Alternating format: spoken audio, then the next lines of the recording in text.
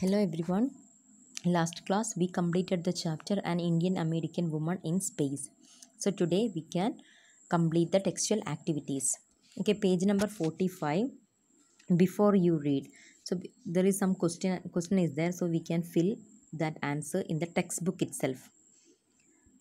A space shuttle is a spacecraft that is made up of repeated space travel. For example, between Earth and space station, we already discussed that. Then number two, use dictionary to do task below. Question number one, find out the meaning of the following words and phrases. First one, naturalized US citizen.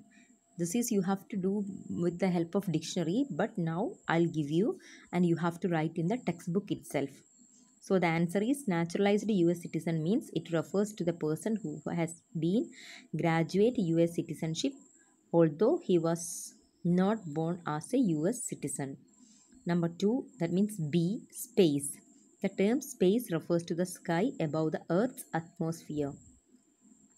Next one frontiers of space. The phrase refers to the human desire to know the ultimate limit of space. In fact no such frontiers frontier is known to a man. Many believes that the space has no frontiers. Abroad, it means being a ship or an aeroplane or a spaceship, etc. Lift off, that means uh, how it is differ from take off. Lifting off refers to the process in which some external ener- agency makes a spaceship or even an aeroplane rise into the sky.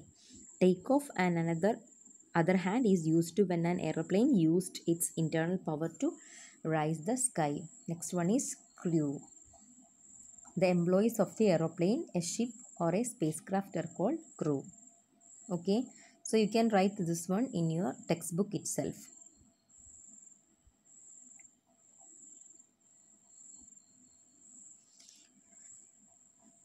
So notice uh, the spelling of the these words in the lesson aeroplane program this is how these words are spelt in american english. How are they spelt in british english? No need to write the answer. So we completed the chapter. Then next one page number 50 50 answer the following questions. This question you have to write in your notebook. First one, where was Kalpana Chawla born? Why is she called an Indian American? Answer is Kalpana Chawla was born in Karnal, Haryana. Thus, she was born an Indian, but later she went to US and became her naturalized citizen. So, she is called an Indian American. Question number two, when and why did she go to US? Who did she marry? So, the answer is she went for the master degree to the US and uh, earlier she had a bachelor of science degree in aeronautical engineering in India. She married flight instructor Jean Pierre Harrison. Question number 3 How did she become an astronaut? What gave her idea that she could become an astronaut? Answer is after qualifying as a pilot, Chawla, Kalpana Chawla applied to the NASA Space Shuttle program. She was the first hired as a research scientist at NASA. In 1994, she was selected at NASA for training as an astronaut. It was her success as a pilot which gave her the idea that she could become an astronaut. Thus, she became an astronaut. Number 4. What abilities must an astronaut have according to the journalist? have what ability must an astronaut have spelling is here wrong so you have to change it have h a v e so the answer is according to the journalist an astronaut need to enormous ability she or he need uh, to know a lot about everything from biology to astrophysics and aeronautical engineering in brief she or he must have encyclopedic knowledge that we already discussed in the chapter. Question number 5 Describe Kalpana Chawla's first mission in space. Kalpana Chawla's first mission in space was in the space shuttle Columbia. It was the 15 days, 16 hours, and 34 minutes. During this time, she went around the Earth 252 times, traveling 10.45 million kilometers. Uh, the crew performed experience such as pollinating sorry pollinating plants to observe food growth in space it also made test for making stronger metals and faster computer chips it was all done for a price tag of about 56 million dollar.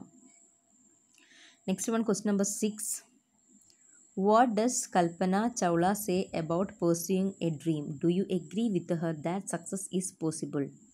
Answer is kalpana chawla says that it is possible to change dream to reality for this one need vision and courage. Yes i agree with her that success is possible. However i feel god's blessing are almost essential next one page number 45 read the newspaper report to find out uh, the fact about the columbia ill-fated voyage that we already discussed. Okay. Next one uh, match the following. That also we completed. So if you have any doubts regarding that one you can use the solution. Okay. Then next page page number 52 use the phrases in sentence of your own after finding out their meaning so first one you have to uh, find out the meaning and then make a sentence. So first one broke apart broke into pieces. The pla- plane carrying 100 persons broke apart in the sky. That is the uh, sentence. Second one struck over answer meaning is to leave a line or long mark. A comet was seen striking over delhi towards the horizon next one spread across spread far and wide. The news of our victory spread across the country. Lift off. The rocket lifted off the launching site. Blast off. Be launched by the firing of a rocket. The rocket blasted off at noon. Went on continue. He went on talking for a long time cheering along encouraged. I cheered along with others as the runners passed by. Next one on board. In a ship aeroplane or spacecraft there there were 500 passengers on board when the ship started its voyage. Ninth one carry on. That means continue. Carry on the good work. So this answer you can write in the notebook itself okay? So this one page number 52 uh, question number b that you have to write in the notebook. You can write the word then meaning then you can write a sentence. So this one in your notebook. Next one c we added un to make opposite. For example true untrue and add un to the words below to make their opposite. Then look up the meaning of the words you have informed in the dictionary so words are identified unidentified control uncontrolled attended unattended successful unsuccessful important unimportant educated uneducated interesting uninteresting qualified unqualified trained untrained uh, answerable unanswerable. So this is uh, we can use an to make a opposite word okay so the answer is word meaning is there so you can read it. Okay this is the opposite of the word so you can read it. All right? So next one is speaking the conversation. That means that uh, we are doing our uh, com- communicative english class we are discussing some making some conversation. So here is a conversation between ram and mohan. So you can make one conversation. In uh, in her passing students of college kalpana chawla said may may you have uh, may you have the vision to find the path from dream to success wishing you a great journey.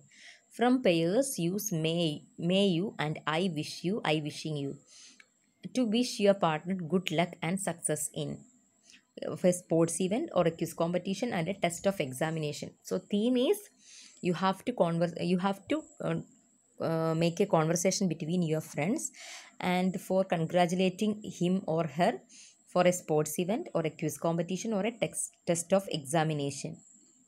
So here i am giving a conversation between ram and mohan. So this is a sample. So you can make little more uh, increase can increase little more. And the conversation is starting with ram may you score a century in your cricket match today? Mohan thank you for the good wishes. Ram i wish for your success in the debate competition. Thanks for your good wishes. All the best for your examination. Thanks.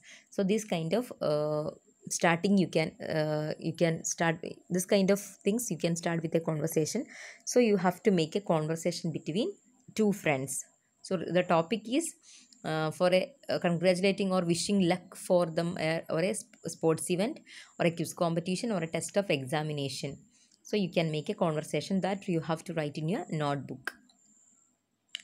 Next one dream or something you very much wish to do.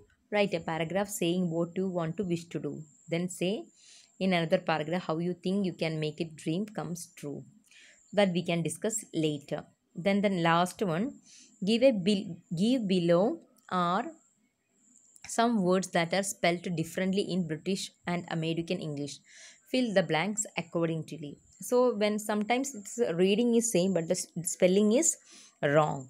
So answer i'm giving uh, british and um, this answer you can write in the textbook so british color american is color labor labor traveler traveler. But the, you can check out the spelling.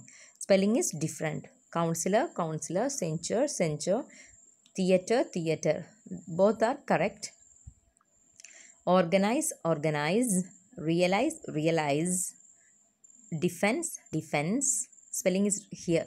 Ce change into se offense offense ce change into se so in the british english uh, most of the words are uh, in s- sound is using ce but in american english uh, we are using se for sound. Okay? So that's for uh, the textual activities in the chapter an american english woman in the space. So everyone please complete your textbook activities and don't forget to complete your uh, notebook as well okay? Thank you. Have a nice day